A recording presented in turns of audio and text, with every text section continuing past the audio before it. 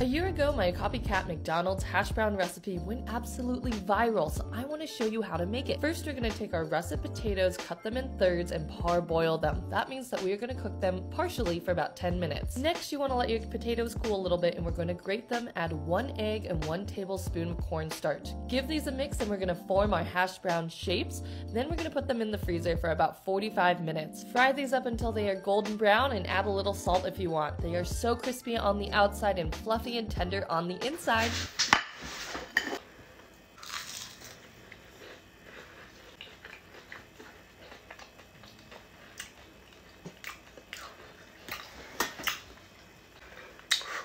Mmm. Now. Ooh. Mmm. I'm gonna get a 7.5 out of 10.